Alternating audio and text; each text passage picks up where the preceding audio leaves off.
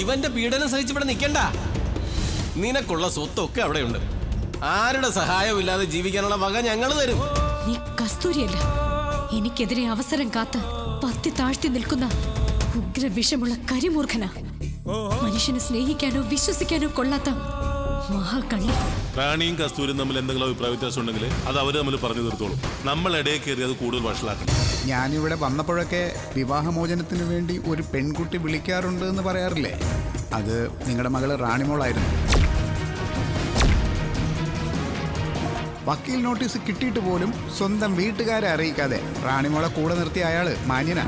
സ്വന്തക്കാരുടെ കയ്യിൽ നിന്ന് പോലും വിശ്വസിച്ച് വാങ്ങി കുടിക്കാൻ പറ്റാത്ത കാലമാണ് അപ്പോഴാണോ ശത്രുവിന്റെ കയ്യിൽ നിന്ന് വാങ്ങി കുടിക്കുന്നത്.